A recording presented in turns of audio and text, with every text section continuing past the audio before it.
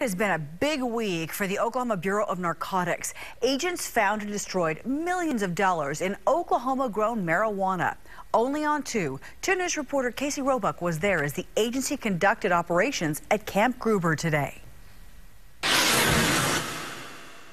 The Oklahoma Bureau of Narcotics uses helicopters to spot marijuana grow fields from the air. It's actually a constant battle here in Oklahoma. They've had a busy week and a half. They busted one huge crop near Ada, and they took these plants from a home right here in Green Country. It takes an arsenal of aircraft, weapons, and military-style training to keep up with Oklahoma drug dealers, some of which are backed by dangerous Mexican drug cartels.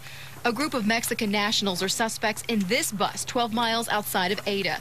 Thousands of marijuana plants were discovered. Most are the size of Christmas trees. The street value is around $10 million. Investigators say the growers were actually living next to the field. We started the week with the largest marijuana grow we've had probably in our state's history, about 9,000 plants. Uh, it's just tremendous amount of marijuana. And then yesterday or the day before, uh, we, we had about 40 plants.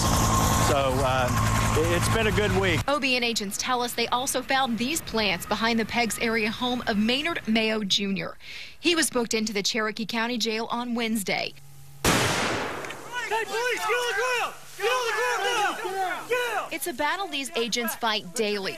OBN Director Darrell Weaver says this week was a good one for his agency, but he says it takes constant diligence to fight the war on drugs. Camp Gruber allows his agents to sharpen the skills he hopes will keep them alive. We're trying to utilize all the resources we can. Uh, oftentimes, uh, aircraft or technology is often better than uh, putting people out there or, or, having to walk into a field. So uh, we do utilize aircraft as we're using today.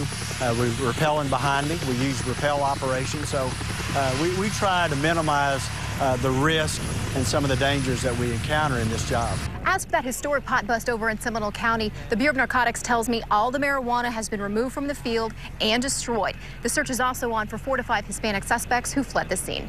Reporting from Camp Gruber, Casey Roebuck, 2 News works for you.